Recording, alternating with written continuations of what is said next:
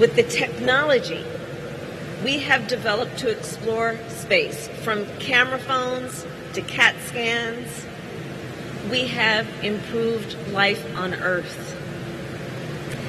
With the perspective we have gained from space, we have reminded many, many folks, and we have been reminded of how precious our Earth really is and how delicate it is and how fragile it is.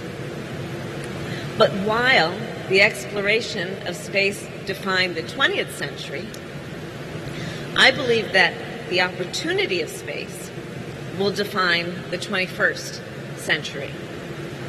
Today, our nation is more active in space than ever before, and there are more ways than ever before that space can benefit humanity.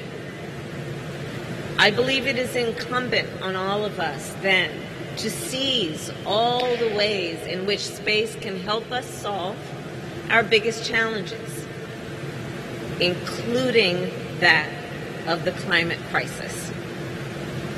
The world leaders who gathered at COP26 this week were very clear. They were not ambiguous. They didn't skirt around the issue. They were clear and they were decisive and they were declarative. Climate change is an existential threat, and we must take immediate action to address it. As our nation works to meet our climate commitments, we know that our actions cannot be limited to only what we can do on Earth. Right at this minute, we are monitoring emissions and measuring the impact of climate change from space. We have a fleet of satellites and sensors providing citizens and scientists with the data that they, that you need to mitigate the impact and to adapt to the impact.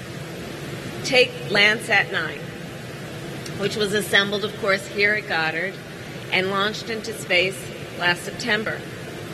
As we just saw, Landsat 9 can provide real-time images of our nation's landscape. As natural disasters are increasing in frequency and ferocity due to climate change, these images can be used by first responders to help save lives. These images can be used by farmers to assess their crops as drought and heat threaten their yield. These images can be used by scientists who are working to combat climate change head on.